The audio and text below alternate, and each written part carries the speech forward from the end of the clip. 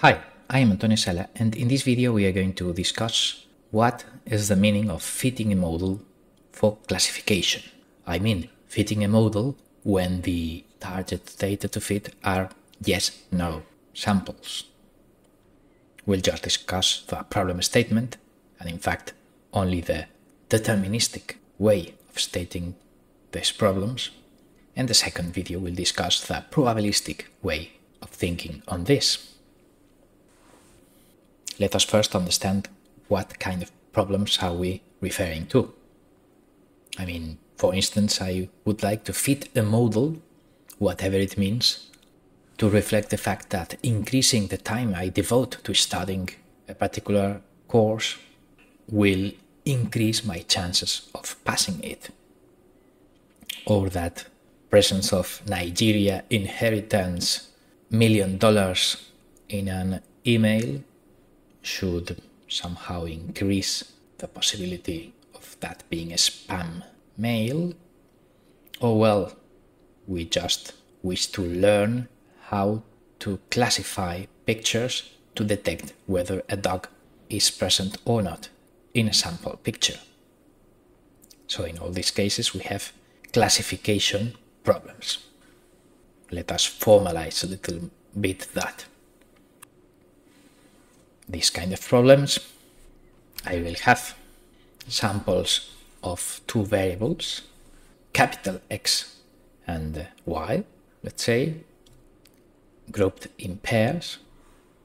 Each sample will be denoted in lowercase. Data on the variable X will be information input to my classification system and Y will be the desired output of my system. Well, maybe not exactly, but at least will be the target sample, which will be yes, no. Input X can be either categorical, this customer is Spanish or French or Portuguese, or it can be numerical, this customer is 39 years old, but in classification what we aim is for a categorical target. In fact, in abstract form, it will be a binary target. So for instance, X may be the number of hours devoted to studying my statistics in control course, and Y will be the pass fail score in the final examination.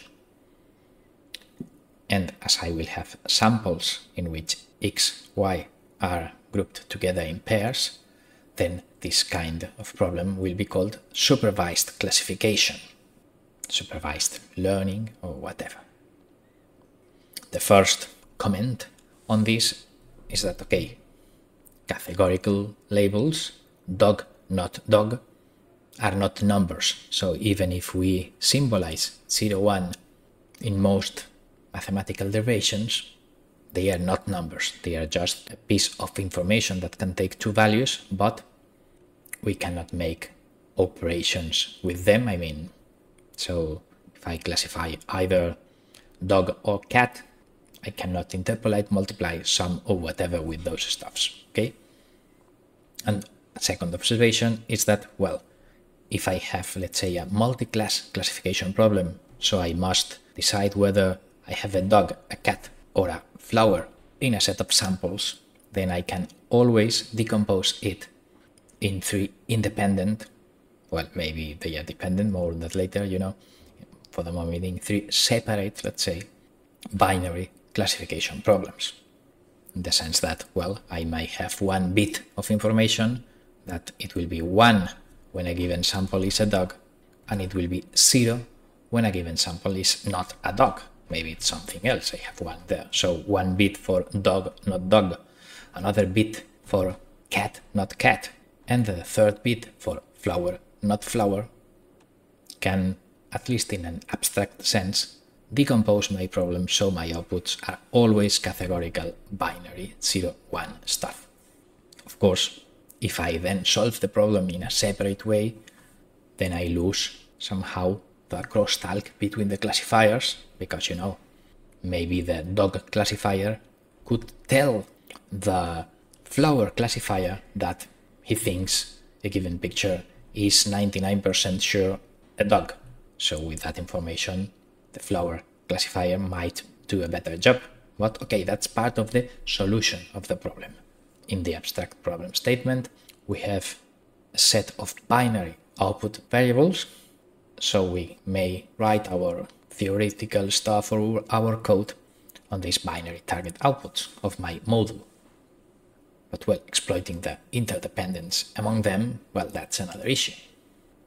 So as I said, these problems could be deciding whether an email is spam or not, given some words in it, deciding whether a student will pass or not, given the time he devoted to it, or you know, deciding if a picture is a dog or not, given the pixel color on it. But well, some of these problems may have a random statistical component, let's say in the exam results. John may pass studying 78 hours, but Juliet may fail studying 79 hours. So there's kind of uncertainty because there are more things to the examination than study time. But on the other case, is it a dog or not? In principle, it's sort of a deterministic problem. If I show a picture to a neural network, well, you know, either it has a dog or it has not a dog.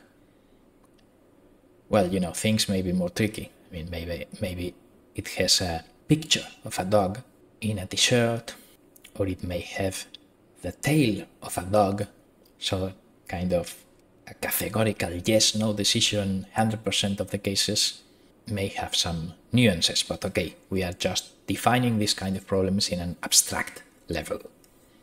And in abstract level, well, we can think on these problems in a statistical way or in a deterministic way.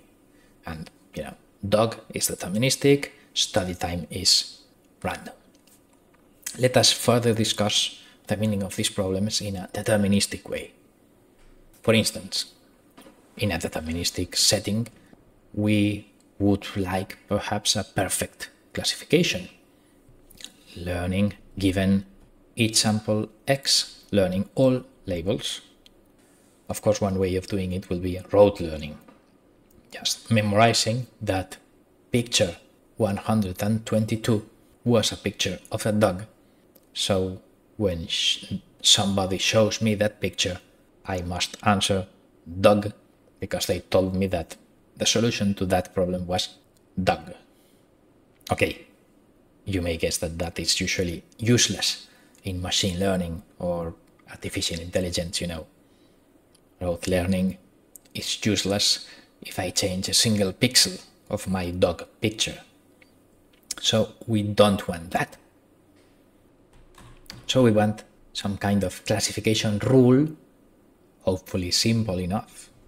So that for instance, I have some function of some adjustable parameters so that when that function is negative, then these samples correspond to a red stuff. So the output that I want to predict is red, blue, and I have two numerical input parameters, x1, x2.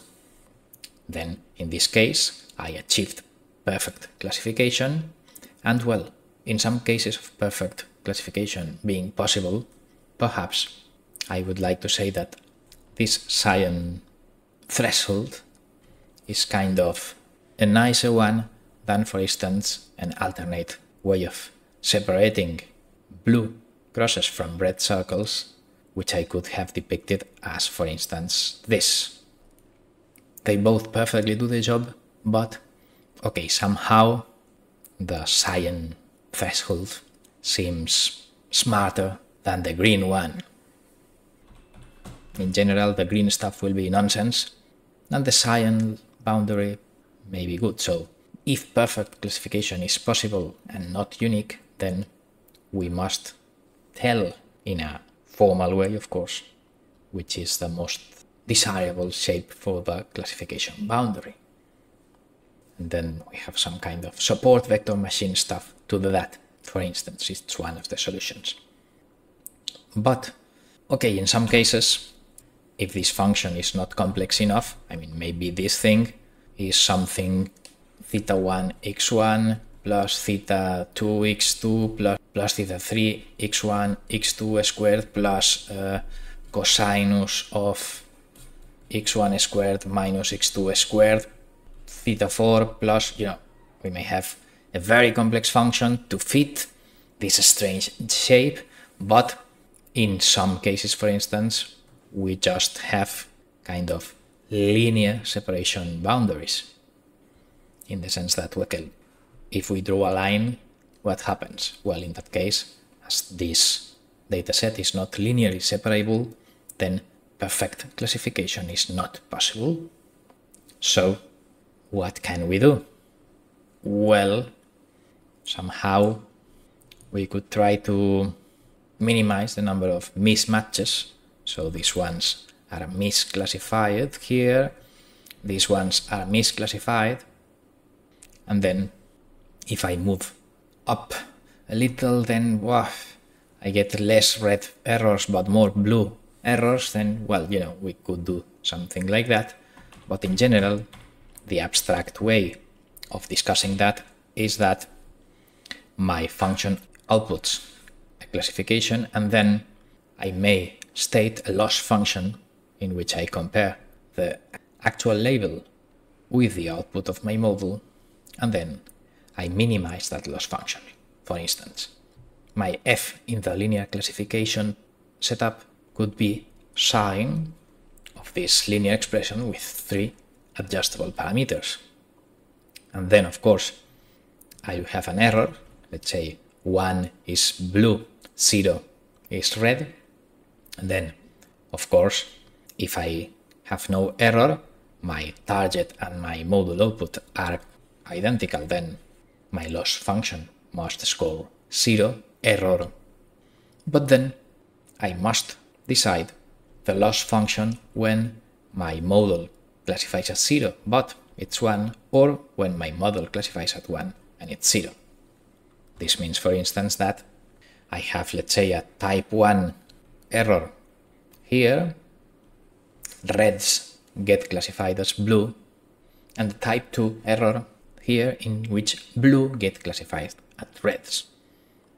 Of course, you know, if these are, you know, color balls, then I don't think one type of error matters more than the other. But if I am diagnosing lung cancer, then one thing called false positive is telling somebody that it has a cancer when he has no cancer at all, and false negatives is telling somebody that he is perfectly fine, but he has diabetes or cancer or whatever.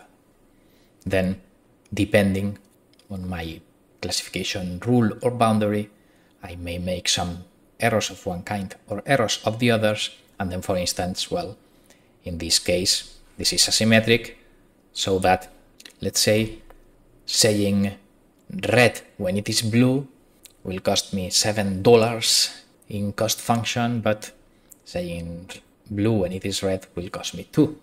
Well, these are of course problem depending, and uh, red and blue is nothing compared to deciding or not whether to give uh, chemotherapy or not, depending on the results of a blood test. So, defining priorities for these two kinds of errors is key in obtaining useful solutions to problems in which perfect classification is not possible. But, okay, this is kind of the deterministic interpretation in which, let's conclude, we have some input and some categorical outputs, which even if they are not binary, multi-class, let's say, they can be decomposed in several bits of information. So we need to fit each of the bits. And even if some problems are random, we'll discuss them in a sequel video.